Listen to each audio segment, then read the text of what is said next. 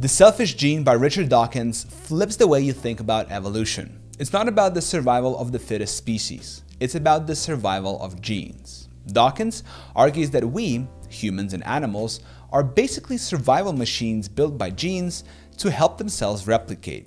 That sounds wild, but once you get it, a lot of biology suddenly makes much more sense. The book introduces the idea that genes behave selfishly, not in a moral sense, but in how they compete to be passed on. This explains all kinds of behavior, why animals cooperate, why parents care for offspring, even why we're capable of altruism. It's not about kindness, it's about strategy. Genes wants to survive. One of the biggest takeaways? The idea of the meme, which Dawkins coined.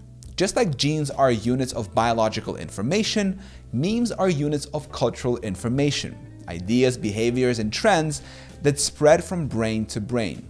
In a way, this book predicted how viral content works before the internet even existed. It's a mind-bending read that combines science, philosophy, and psychology, all wrapped into one. So if you're curious about how evolution works and how it shapes who we are, The Selfish Gene is one of the most important books you'll ever pick up.